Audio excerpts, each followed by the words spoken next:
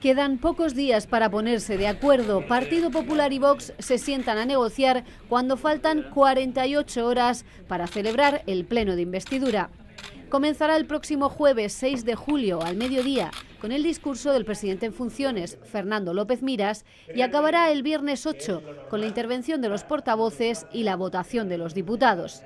En esta primera vuelta, López Miras necesita mayoría absoluta para salir investido presidente un escenario poco probable.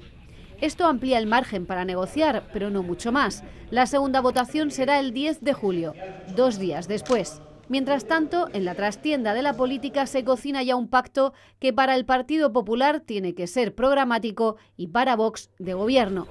Si no se acercan posturas y persiste el bloqueo, el siguiente paso será disolver la Cámara y convocar de nuevo elecciones autonómicas de cara a septiembre. Sí, no te preocupes.